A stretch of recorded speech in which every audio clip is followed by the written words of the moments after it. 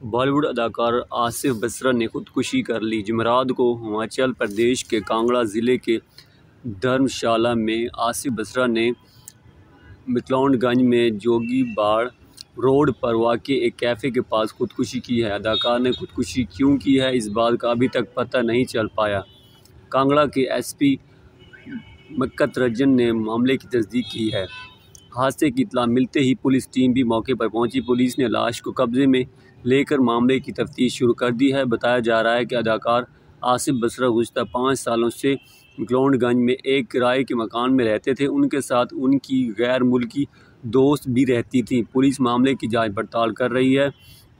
बताया जा रहा है कि आसिफ बसरा, यूके की एक खातून के साथ ग्लौंडगंज में रहते थे। जुमरात दोपहर वो अपने पालतू कुत्ते को घुमाने निकले थे। उसके बाद घर वापस आकर उन्होंने पालतू कुत्ते की ही रस्सी से फंदा लगा लिया। अब्दाई जाँच पड़ताल में पता चला है कि वो डिप्रेशन का शिकार थे। कांगड़ा के एसपी ममकित रजन ने मामले की तस्दीक करते हुए बताया कि पुलिस मामले की जाँच पड़ताल कर आसिफ बसरा मशहूर टीवी अदाकार हैं। वो कई Bollywood movie Parzania Black Friday के अलावा हॉलीवुड फ़िल्म आउटसोर्स में भी नज़र आए थे। इसके अलावा आसिफ बसरा हिमाचली फ़िल्म साँझ में भी अपने किरदार के लिए जाने जाते हैं। इसके अलावा इमरान हाशमी की once upon a time in Mumbai film में भी उन्होंने इमरान हाशमी के वालिद का किरदार निभाया था।